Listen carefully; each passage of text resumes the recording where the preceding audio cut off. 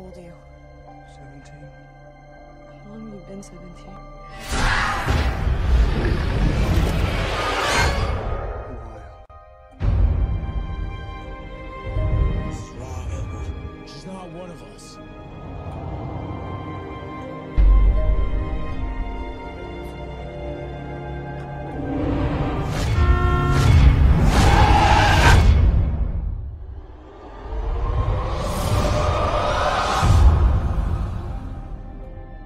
Not scared of you. Really shouldn't have said that.